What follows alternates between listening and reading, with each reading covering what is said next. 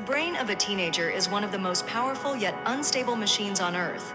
Your prefrontal cortex, the part that handles planning, focus, and self control, is still wiring itself together.